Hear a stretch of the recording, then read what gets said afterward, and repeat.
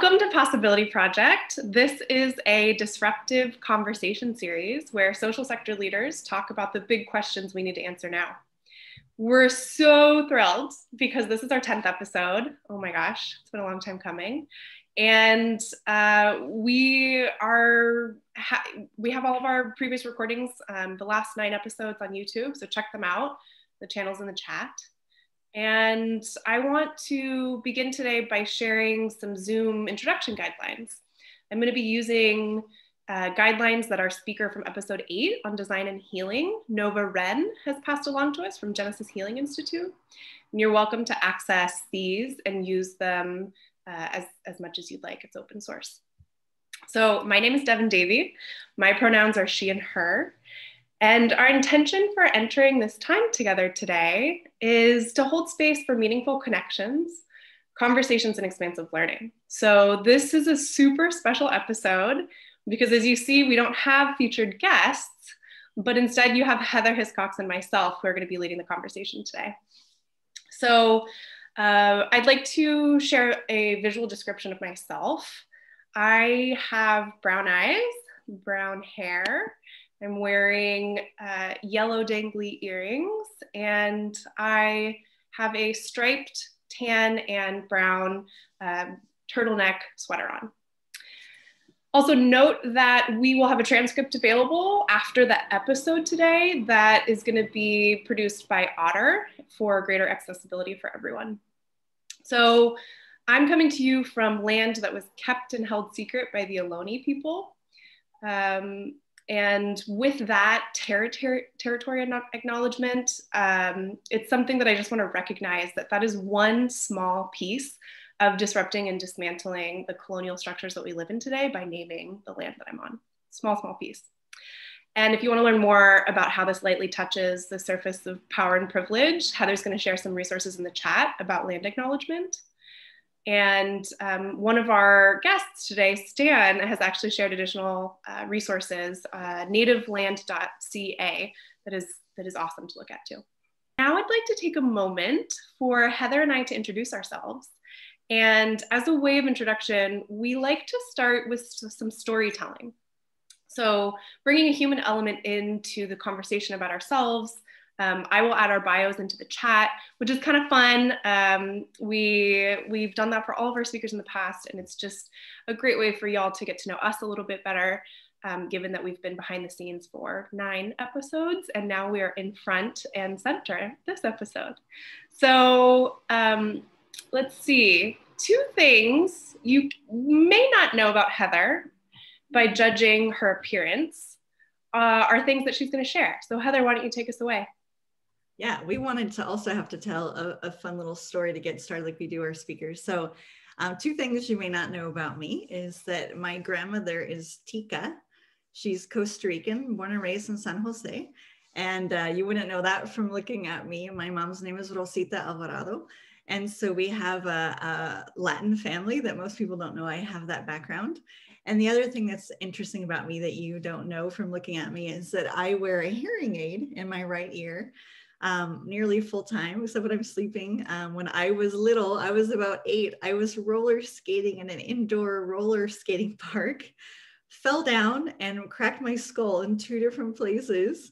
And so, after multiple surgeries, I was left with um, permanent hearing loss. And so, I use a hearing aid and lip reading and all those other accommodations that I figured out since I was a kiddo to get through the world. So, yeah, want to share those. And Devin, what about you? Take it away. Oh my goodness. Uh, something you wouldn't know about me uh, by looking at me is that I played competitive sports my whole life up until college. And I was in a national competition in Denver, Colorado when I was a little girl with horses. And if y'all are familiar with riding horses or equestrian sports, I did a sport called vaulting for about 10 years of my life, from five to 15. And uh, vaulting is a sport where it's basically combining gymnastics and horseback riding. And so you have a horse that runs around an arena, and you're on the back of the horse, kind of moving around and doing gymnastics. So that um, really speaks to my competitive nature. I also grew up with two brothers and two boys in the house, my dad raising us. And so um, com- competition and animals have always been a big part of my life, which I imagine might be similar for many of you as well.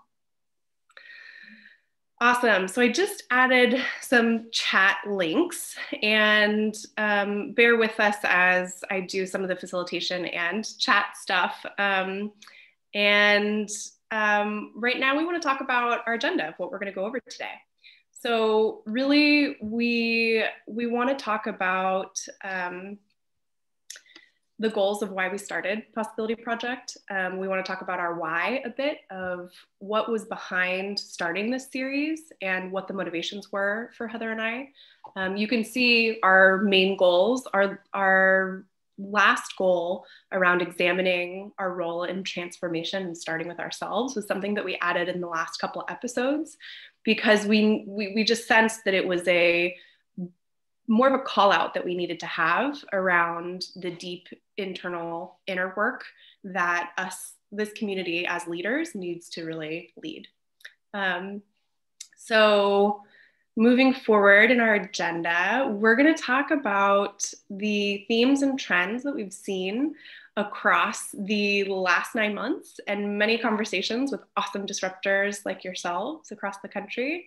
And um, we'll introduce why why we think possibility project is unique um, what we think the kind of trends are ahead for not only this project but also in in the social sector um, based off of feedback and conversations that we've had with y'all.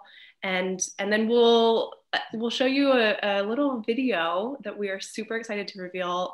No one externally has seen it yet so y'all are going to be the first to see it. And then we will wrap by sharing topics and conversations that we're going to be highlighting next year. All right so our why. I want to turn to heather and i want to ask you why you wanted to start Possibility Project and what you love about it.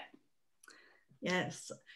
Why I wanted to start it is that um, over my career as a social entrepreneur, this is my fifth venture.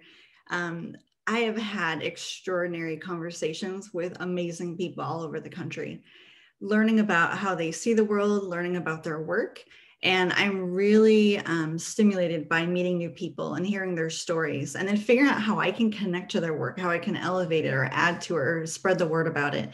So it really was a way to kind of scale those conversations of how do we invite a community of change makers into conversations like that so that lots of diverse voices can be involved.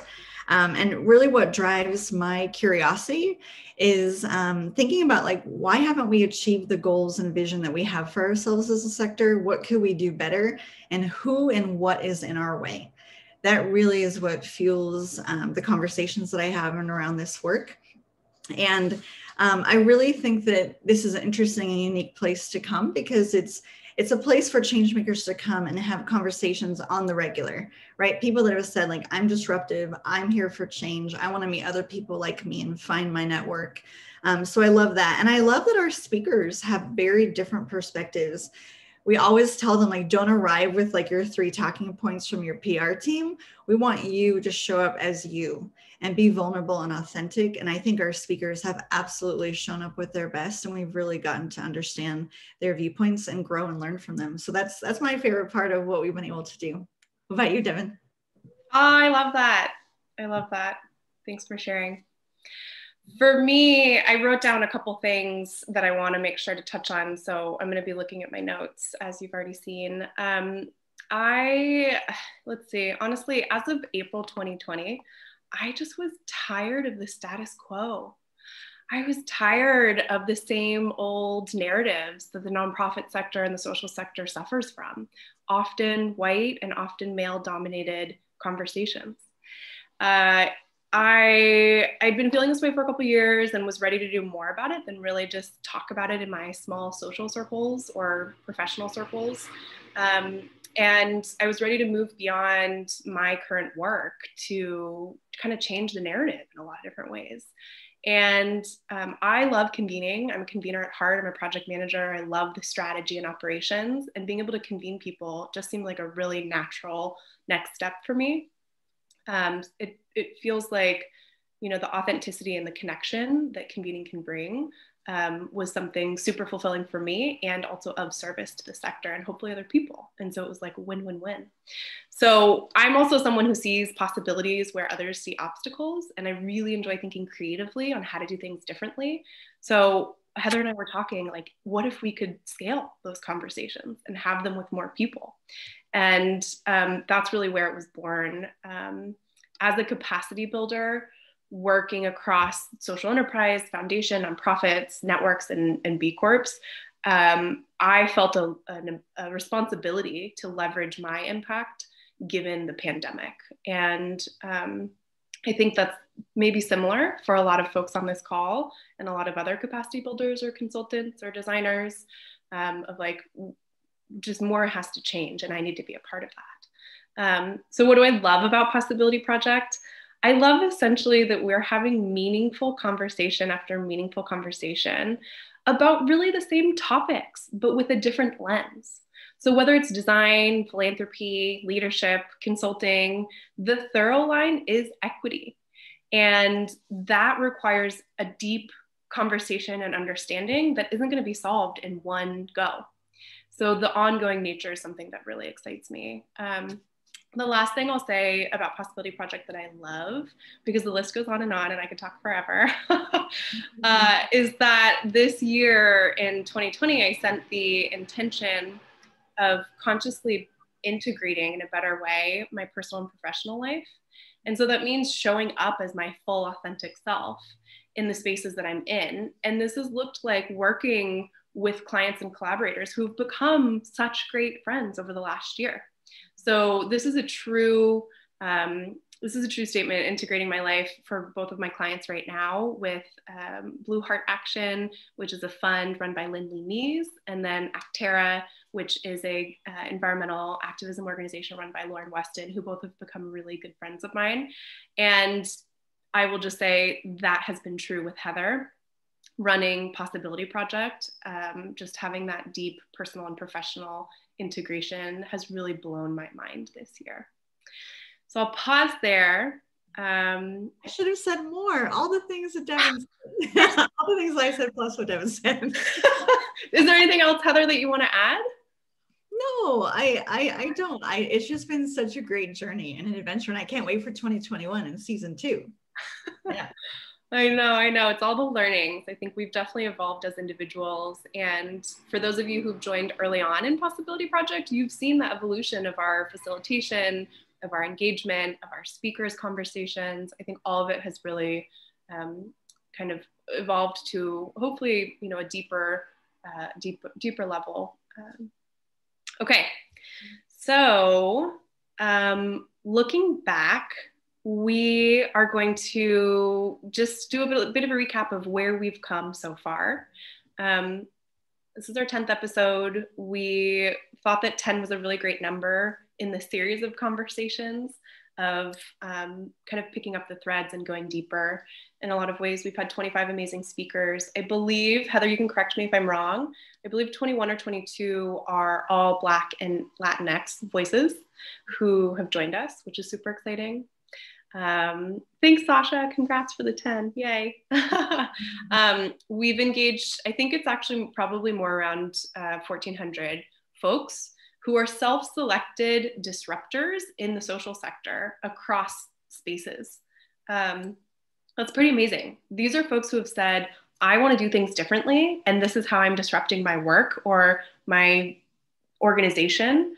Um, and and then we've had a subset of that group follow in LinkedIn, which still 300 plus people is super exciting to have an active conversation and you know building a community in covid where we're all so pulled in different ways i think is something really exciting um, and these people have come together pretty naturally we've created a highlights reel that is the first six episodes that we're going to watch a little bit later.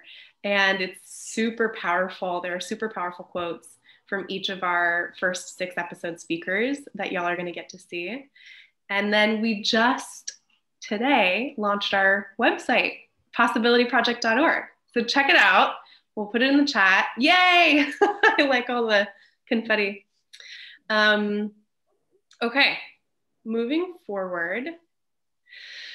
Heather, I think, are we going to talk? About, okay, good. So these are the two questions that have guided each of our conversations thus far, and you know them well. The first one is what dysfunctions in the social sector do you want to see disappear with the virus? And the second one is what's emerging that gives you hope for what could be possible? So, Heather and I are going to answer each of the questions with a synthesis from all of our episodes for about the next 15 minutes. And we invite our speakers and frequent flyers, who are those of you who have attended a few or more episodes. I see y'all on this call, Stan, Chuck, others, Sasha. Um, so we will ask you to chime in on the answers to these questions as well. And we're going to start with Heather. So, Miss Heather, what are the dysfunctions in the social sector that you want to talk about? Yeah, what, what we did is we looked through all the episodes so far and we tried to pull out themes. Like, what have we noticed around dysfunctions that popped up again and again and again? And there's really five key themes, and I'll just talk about each one lightly. Um, the overarching theme is about who gets access, right? Who gets access to resources, leadership positions, design decisions, policy creation, and ultimately who has access to power. I think power has been a great through line of a lot of the conversations we have. And the the restriction of access to power is a huge issue with dismantling and reimagining the sector. Um, the next theme that has popped up a lot is white supremacy in this sector. And if we look at the formation, composition, and structures of essentially the nonprofit and philanthropic sectors, we're looking at a majority of white folks that are designing and leading the sector. So a lot of our speakers, um, like Andrew Plumley, Lakia Cherry, Sean Thomas-Breitfeld, especially on our Whiteness of the Social Sector episode, um, address how we need strong voices and different voices to challenge status quo. And you know what's really popped up again and again is that to create systemic change means creating discomfort and really upending the ways um, and the people that are in power right now. And so figuring out what does that look like and why is that conversation uncomfortable and what do we do to change things moving forward so we have systemic change? Um, dismantling false narratives has been another really key theme. And i love Darryl Lester um, in our episode really talked about the issue that the narrative of giver and receiver producer and consumer. Kind of who are the gatekeepers of who gets to be a philanthropist and who's seen as a beneficiary or recipient and seen as like asset deficient. I love that he um, he raised that, and a lot of other of our speakers have talked about false narratives. Sabrina Slade talked about the false narrative of trickle down impact. That um, you know organizations, mostly grassroots and BIPOC led, are getting pennies on the dollar because they're seen as collaborators in these larger, more well funded, more typical. Um, more palatable organizations and leadership and that's just such it's driven by this false narrative that is connected obviously to white supremacy as well. Um, and just the the false narrative overall of like who should lead to make change. We've talked about the false narratives that really drive design and how we design programs and policy and we create decisions is really um, ignoring the assets abilities and abundance of community members and about key stakeholders. Um, a fourth dysfunction is really about alignment and accountability and how that's shown up is how do we hold ourselves accountable to really being disruptive change makers? How do we hold each other in this community and network and beyond and our organizations and our sector accountable? Like, when do we start to feel the consequences for the actions that we take that are um, harmful and that are not helping all people have equal access to justice and, and a full life. Like when do the consequences come for all of us? And it has to start inside and then it has to spread sector wide um, and then the, the last one is the lack of imagination in the sector. We've had amazing speakers um, like alana irving and alvin schexnayder and Lesley-Ann Noel that have talked about Afrofuturism. And um, in New Zealand, Alana was sharing a lot of the amazing new stuff that's happening in New Zealand. And just we lack imagination of what the sector could be. And so I think our speakers have done a really beautiful job of highlighting that if we think more pluralistically, um, if we think more inclusively and more diversely and have different voices, that we can create new potential futures together if we work in new ways. So I, um, I really love those themes that have popped up in dysfunction. And Devin's going to talk about the other question we ask, which is about what's emerging that gives you hope and what some of those key themes have been. Heather, will you keep the last slide up for a minute? Oh, sure, absolutely. And I'm just curious because that was a lot.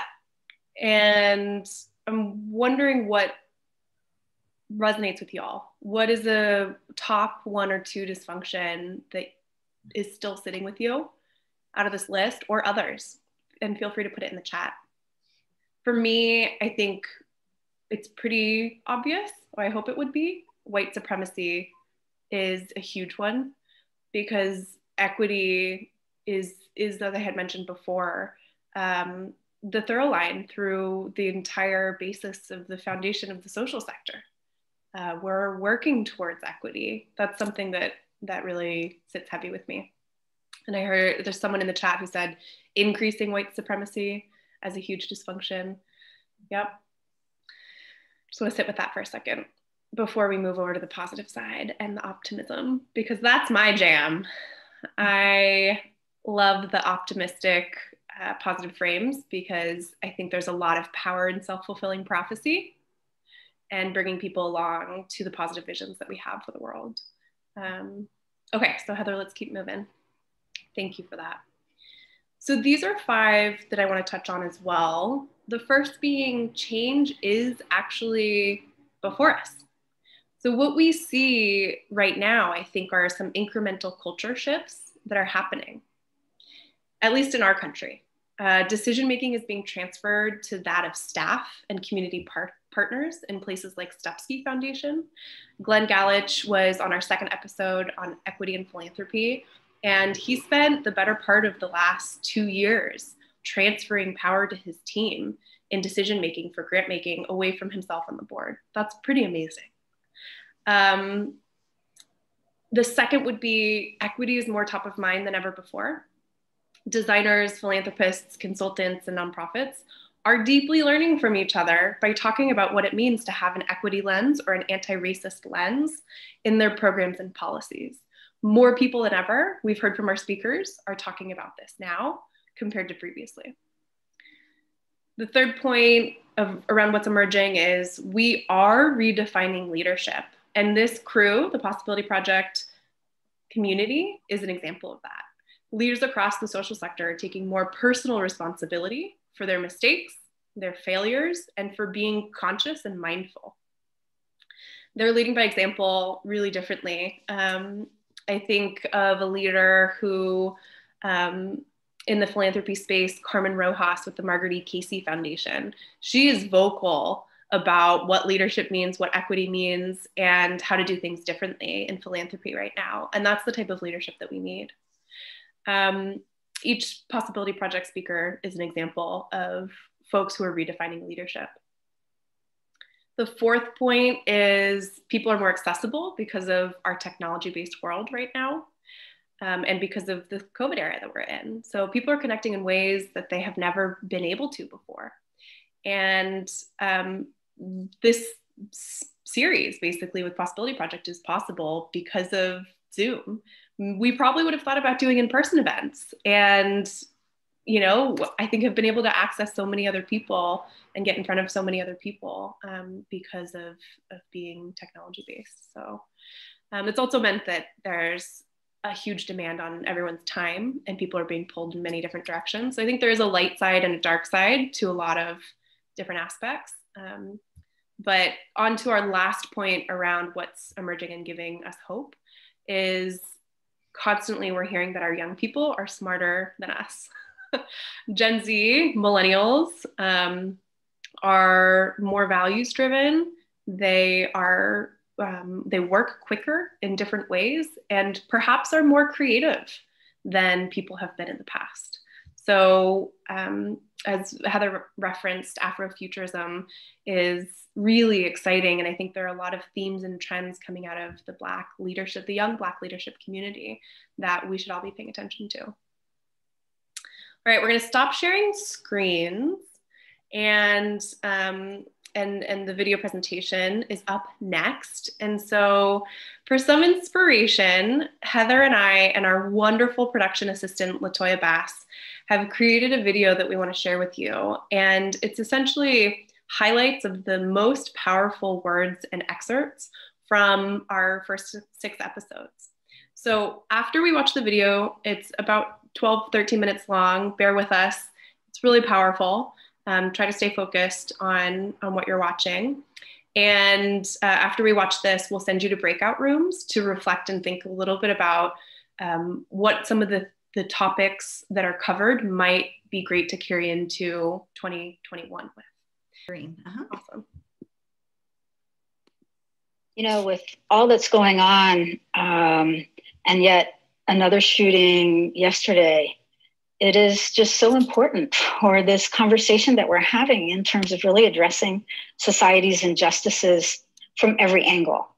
In institutional philanthropy, it's been, it's obviously the statistics are very clear. They're, we're reminded of them all the time. It's dominated by white privilege. It was created um, for the benefit of ensuring that we could have income tax that would strengthen the coffers of government, uh, you know, kind of an exchange with wealthy elites who were afraid of their taxes being taken. So philanthropy foundations were created as a way to um, allow those people to continue to have control and power uh, in a way that was totally unaccountable and continues to be today, really. The primary goal should not be just to grow and grow and grow and grow the foundation. The primary goal, in my humble opinion, is to make impact in the space. So it's like I, I almost want to see us hold everyone to their words, right? If what you want is a return on investment, let's talk about the definition of return, the definition of investment. If what you want is impact, let's talk about a complete mission alignment with the entire portfolio. Marcus Garvey, my favorite historical figure, said leadership is everything blood, pain, and death. It's not this glamorous thing if you're doing it right if you're doing it right, you, you have sleepless nights. You got you're questioning yourself on the regular. You're saying, man, did I mess up? You're celebrating with your people's highs. You're crying with your people's lows. Like to me, that's what is, is lost in a lot of leadership, where it's become more about optics than about true emotional connection and engagement with your, your people. Um, what we typically do not talk about uh, are the endowments of foundations, uh, endowments that are going to basically hold 95% of those philanthropic assets, most likely in investments, in companies, in schemes that are quite damaging to society. We don't necessarily bring in the voices of the key stakeholders all the time. And one gentleman in our group talked about the idea around participatory grant making, how there was a lot of talk about it, but the actual action to do it it was like, duh, you you you've already made the decision. You you didn't even bring us to the table, and you say this is supposed to be participatory. The power and the weight that that these concentrations of capital, this concentrated capital institutions or families or, or uh, circles of investors, the weight that they throw around the community. And what I'm starting to see now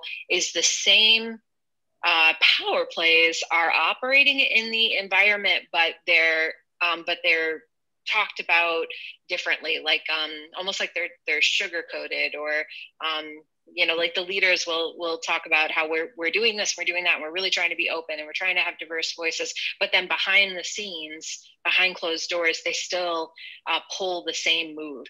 Never questions about why are we doing this at all? Who is this serving?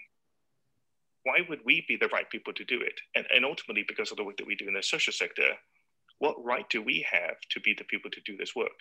Who else should be doing it? In fact, who else is already doing it right now that we just aren't aware of and more likely have been ignored again and again and again? And our faces being perhaps more palatable than others, why do we get to provide a weird kind of like comfort when we show up? because I'm pretty sure there are people who look who have do this work probably do it way better than we do, who are much darker skinned, who are not getting these conversations, who are not in front of those same clients, and who are not getting this kind of funding and support.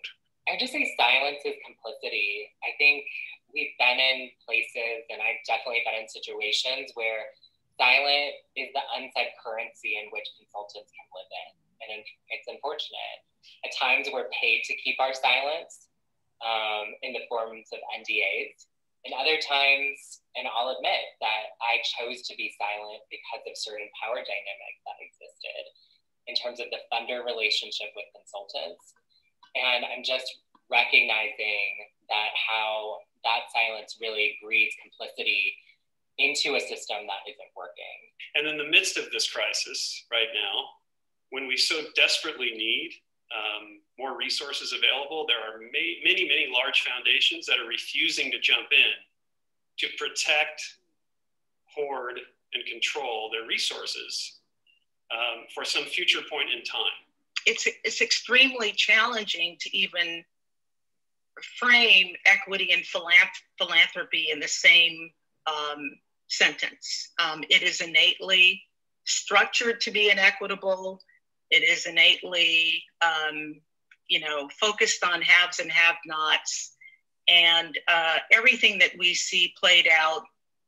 I think even in this this pandemic moment, you know, points to the failure of philanthropy to adequately uh, devote resources to address um, systemic issues like disparities in housing and employment um, and economic opportunity. Right. At the end of the day, you know, we can design a whole bunch of programs and policies um, or, or, initiatives and things like that. But at the end of the day, we really need to change systems um, because we all know that systems work the way that they were designed to work. Um, another practice is um, clearly is painting a false narrative that we can fund ourselves out of a systemic issue, and we place the burden to prove that on nonprofits. So, you know, as of today, there is no proven scenario that you can program yourself out of poverty without tackling inequitable policies that are on the books um, that have been on the books for years. Um, but philanthropy is rarely challenged to talk about those inequities that are holding those um, issues in place. And so that too continues to further marginalize vulnerable communities. We get 90% of the charities in America have annual operating budgets at or below $5 million. I don't know what issue we can solve with $5 million homelessness, food insecurity, education, and if that's 90% of the charitable sector, the folks that are organized to solve these issues, I think you can see why so much, so little has gotten done. Because secular charities raise about $300 billion a year. So every four years, it's $1.2 trillion that's spent. And I would love to see a show of hands later if you can tell me what really materially has improved with $1.2 trillion spent. How does philanthropy go beyond um, these band aid approaches? You know, and I, I still consider diversity, equity, and inclusion initiatives to be important, but they're band aid approaches. I consider rapid response funds going out whenever there's a crisis. It's critically important, but they're band aid approaches we're throwing money at issues. How are we going to get to the root causes of those issues? Governments use NGOs seemingly as a as a social backstop. Um, maybe we think of it as a safety net when its own systems fail, are incompetent, short-sighted, or intentionally relinquish responsibility. Philanthropic redlining, and for those of y'all who don't know what that is, it's justifying reasons not to, to fund smaller grassroots agencies because they're viewed as risky investments or they don't fit into um, what dom- dominant culture deems as stable. And so the data shows that philanthropy concentrates most of its dollars in organizations that are deemed stable, um, which typically are organizations with the infrastructure and the social capital to um, obtain that funding in the first place. But what this practice also does is it further marginalizes grassroots agencies because these grassroots agencies now show up as partners in larger organizations, but are passed down pennies on the dollars for so their own social capital and expertise and the trust that they have in the community. The things that I think we have to get rid of are old notions of charity change and leadership. And I think until we get rid of those, we actually won't be able to address the core issues in our society. As it relates to charity, I really think that we are at the point that we need to move from charity to justice. A lot of foundations I've talked with really focus on innovation and hockey sticks. Um, however, when um, innovation occurs, a lot of foundations I've seen will shy away from new approaches because they're waiting for another foundation to step in and lead and then say, okay, great, you know, like it makes sense. I'm not going to be, you know, a big buffoon in, in front of my organizations or my, my colleagues in the foundation space. Somebody has to fund innovation, um, period. When I think about the dysfunction, I'm talking about the narrative, the false narrative that plays out in the sector around who is a giver and who is a receiver, who is the producer, who is the consumer. And I think that narrative drives a lot of what we see happening and who we see sitting in places in philanthropy. Who can be an ED, who can be a president, who can be in the boardroom, and a lot of that is driven around what people can produce. And if people have a sense that they that the folks haven't produced anything, we have a narrative that pushes against people's ability to be who they are. I am not um, changing or adapting my personality um, to make you comfortable, right? This is me. This is the lens that I bring in, and and deal with it or not but but you know the fact is this is me and so like that's why I talk about things like plurality and identity and bringing your, your, your entire self in because you know I think we want these spaces where people come in as they are and they make our work better. So maybe now I'm designing my life like this where I'm like not wearing these masks and all of that. I am coming in as me. And if you can't deal with me as me, you could go and talk with somebody else. But this is who I am. And uh, we have 12 kind of core practices that we think are important for each of these that really addresses inequities. So, how are we continuously learning and also unlearning what we've been taught? Um, and how that means being clear on our identities, honoring that expertise, the lived experience, changing the way we make decisions to be collaborative and really expecting everybody needs to understand inequities as part of their role. If we're really talking about philanthropy, we're talking about a people that gave up self, gave up their bodies, that came across in the bottom of a ship some, who toiled, who, who tilled the soil and worked the land that created wealth for other folks that say we're, we're philanthropists. So I've been wanting to to, to reframe that narrative and some in some spaces dismantle it so that folks who step up in this giving space don't start to say hey this is all about how much i had extra. It's all about my surplus. No it's about your substance. 92% of leaders of, of foundations continue to be disproportionately white. Um, you do have increasing numbers of people of color um, in philanthropy um, but they are primarily at the levels of program officers or program associates. They're not individuals who can really, really drive um, strategic um, grant making in really powerful ways. Um, and in many cases, these are individuals who come into philanthrop- philanthropy who end up being marginalized themselves because they're people of color. And they're made to feel that, um, you know, it's a gift in and of itself you know, to sit in a in a position within a foundation uh, where you have resources, um, you know, to grant. It's like who really wants to give up power? you know, I mean, that at the end of the day, if you have power, why would you want to give it up? And I think that's the struggle that we're always going to face when we look at ways that we can really dismantle racist practices and principles and create you know, workplaces, organizations, and even a society that works effectively for all of us. Oh my goodness. I know I was smiling the whole time because each of these speakers are ridiculously powerful. Oh my goodness. I'm just going to pause for a second. I'll put that in. Oh, a couple people had to hop off.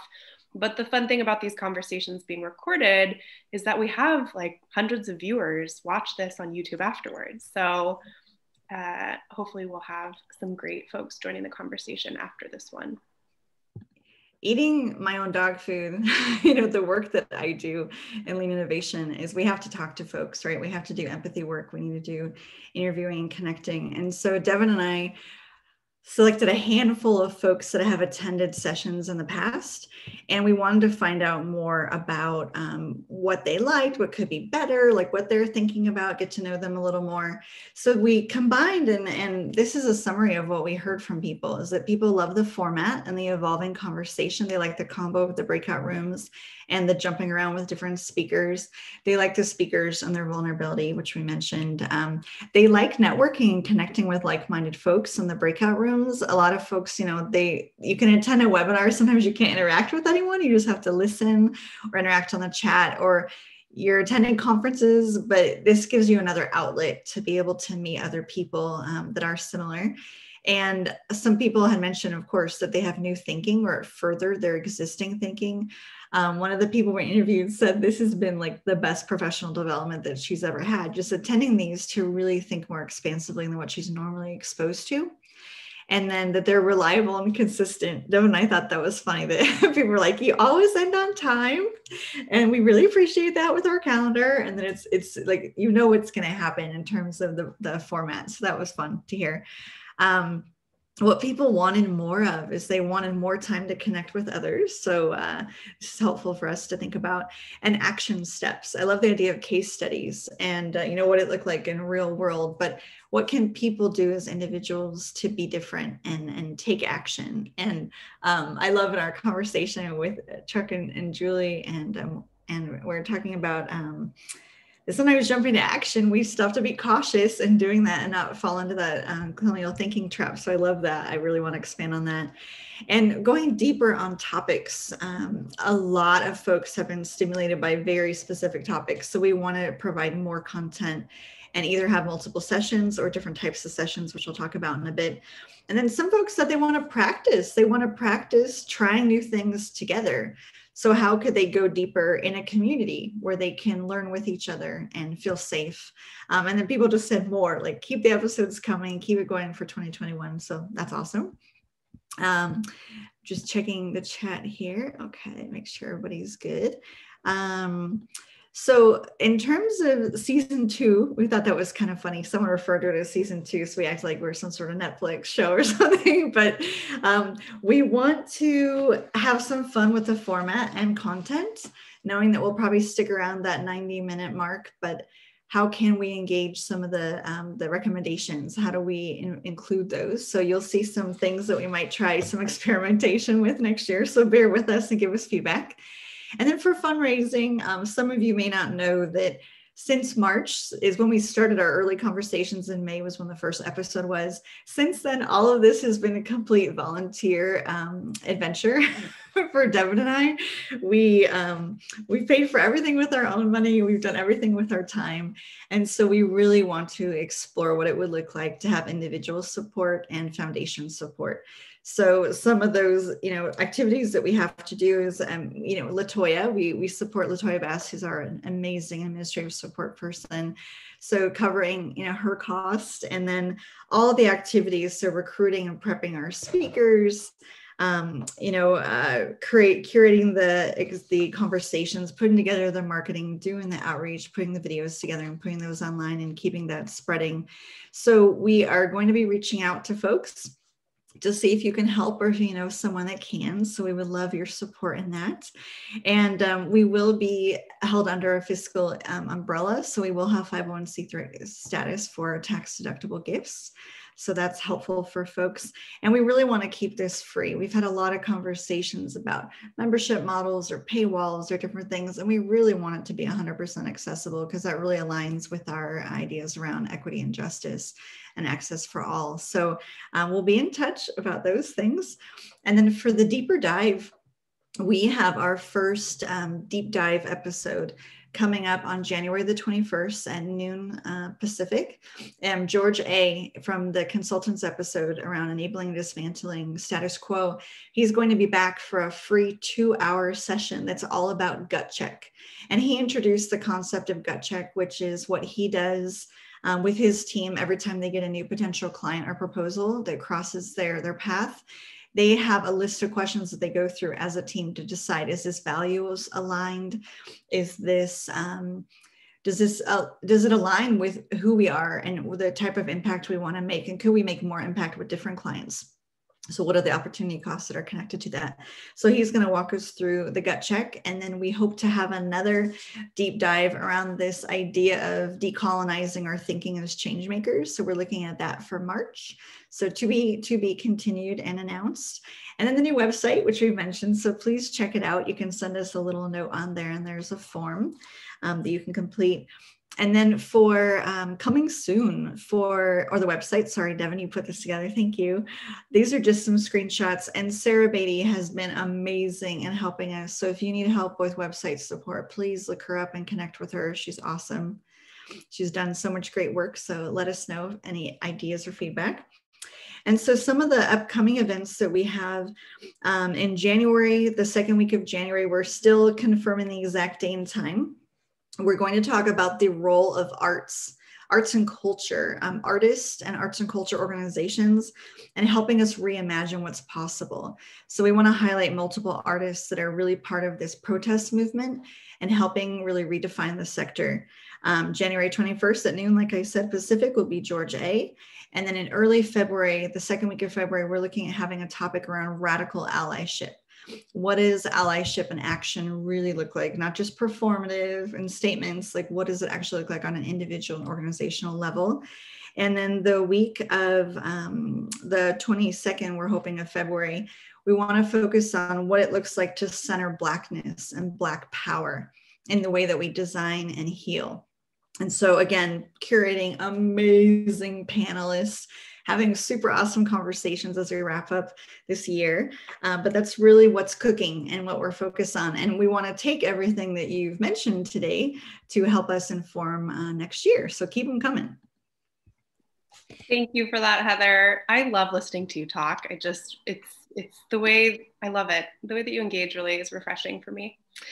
So stick with us. We're in our final wrap up stage. We have a couple more minutes, and I want to talk with you about this resource compilation that we're going to send to you all after this conversation. So each of our speakers, we've had mostly two or three speakers on every episode, and each of them has curated, according to the topic, probably eight to 10 pieces of like core resources that they use in their work that they recommend for the audience to look up. So we're going to put that together in one document for you.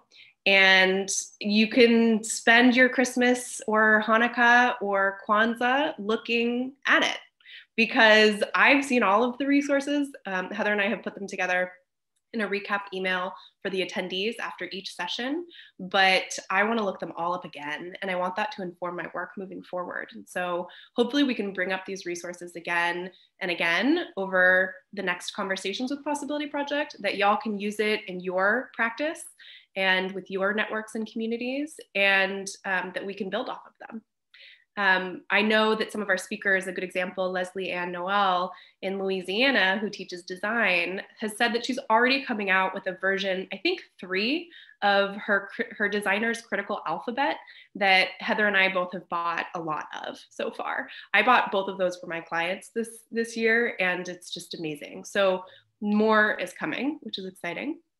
Um, right now, in the last couple minutes, I want to talk about takeaways. And so, as we plan for 2021, Um, we're going to take all that we learned today and that we heard from all of you about the topics and, and what you want to discuss and who you think we should hear from and um, you know keep planning for next year and we want to hear speakers and topics more so that you recommend um, we have a form that we're going to put in the chat that if you think about someone or come across someone in the next couple weeks or months and you're like oh i would love to hear them speak please recommend them and add it to the form and we look at that um, and and i think you know i want to turn to you heather and i want to ask you uh, for, for your takeaways from today and also from a full season of Possibility Project. Oh gosh. Yeah, it's uh there have been moments that Deb and I have been rushing to get things done, and it's been stressful because we both run our own separate businesses, right? We have our own client loads and projects and family lives, and so it's like, ah, it's Possibility Project Week. We got to do this. So, um, I'm just filled with gratitude. I'm so thankful for everyone that has attended and our amazing speakers who we have never paid. All of our speakers, we talked about us being volunteers. All of our speakers have volunteered, which is absolutely phenomenal. And they've they've continued to volunteer. We do quarterly speaker chats where we have like a speakers club so we invite all the speakers only to come to their own session and we facilitate a 90 minute event for them. And they love it. And a lot of them are now like BFFs if they weren't already. And it's just glorious. So I think my takeaway is that I want to keep on keeping on. I want to keep the love going, keep the stimulating conversations going, and keep engaging in this community of change makers to see what we can do. And I, I love the idea of shifting towards action.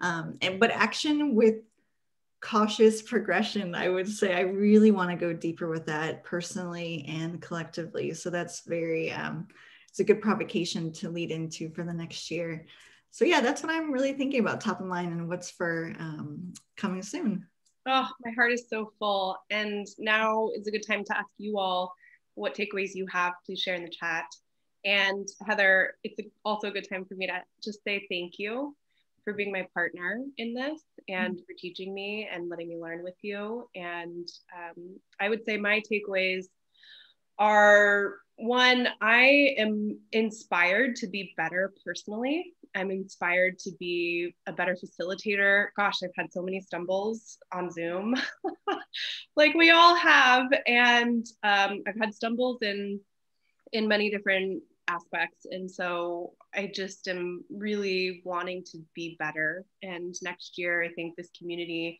is really an accountability community to some degree of like holding me to a, a higher standard. Um, and and I love that because y'all are awesome, super super awesome. Another takeaway for me is um, just kind of allowing my space, allowing myself space and time to be where I'm at I talk to my clients constantly about how I'm able to meet them where they're at and understand through an empathetic lens, you know, how to build them up and create capacity where it wasn't there before. And I can do that for myself in better ways, um, making sure that I meet myself where I'm at. And I think we all might resonate with that. Um, of being our own best support and being the kindest to ourselves as we can, um, given the extreme demands and commitments that we've made working in the work that we work in uh, excuse the background noise. So something I'll just call out that someone shared, a takeaway being that they're not alone in thinking about these issues and wanting to continue to dig into this work. Totally. Love that. Um, I had added the link for LinkedIn, uh, the URL. So if you haven't already joined, join. This is mostly for folks who are watching afterwards. Um, and I want to wrap today by sharing a huge thank you to each of you for joining us today and for those who are watching at home on your couch. And um, want to just um, share, you know, if, if, if, you've enjoyed what you have seen today, please share this around um, and share such gratitude for our speakers, the community that has shown up over and over, and um, to my co creator, Heather. Thank you. Thank you. It's been awesome. You're great. And that's it for today. So be well and see you in early 2021. Okay. Bye, everyone. Bye bye. Bye, y'all.